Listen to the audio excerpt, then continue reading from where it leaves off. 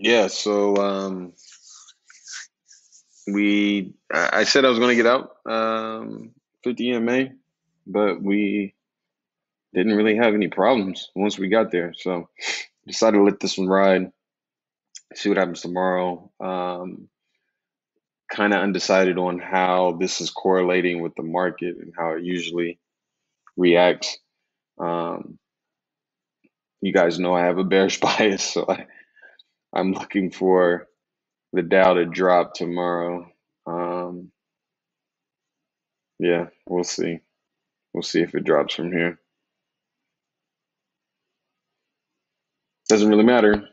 What matters is that I hit the buzzer, get the hell out of the trade uh, whenever it's time to. So, yeah, we'll be watching this one some more. Really liked the entry. Really was effortless.